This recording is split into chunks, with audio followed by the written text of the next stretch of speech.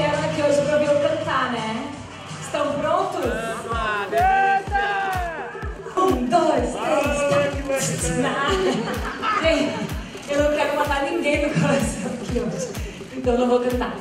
Mas uh, eu tô muito feliz, olha, eu sempre fico muito feliz toda vez que eu posso voltar pro meu país maravilhoso. E uh, a convite da pandemia também, tô super uh, feliz de poder mostrar para vocês essa nova coleção que vai ser assim, é uma revolução na história da marca. É basicamente o seguinte, né?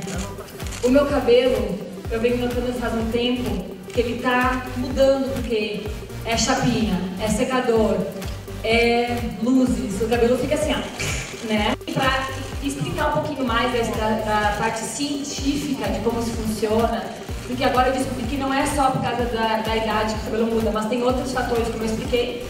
Vou chamar a Adriana, que é uma super expert no assunto, a dermatologista Adriana Vilarinho. Então, a Adriana vem aqui explicar pra gente como é que funciona essa história científica. Ah, o cabelo envelhece, não dá pra dizer isso pra Gisele, né? Não dá. Mas realmente ele envelhece e começa cedo começa a partir dos 20, 25 anos.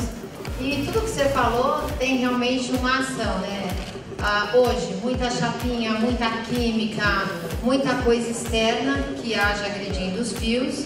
E tem as alterações, eu falo que o cabelo é o primeiro sinal que está acontecendo algo errado dentro da gente. Então, às vezes uma simples queda de cabelo pode representar que você está com problema de tireoide, a gravidez deixa os cabelos lindos, mas o pós-parto faz com que você tenha uma queda, onde a textura resseque.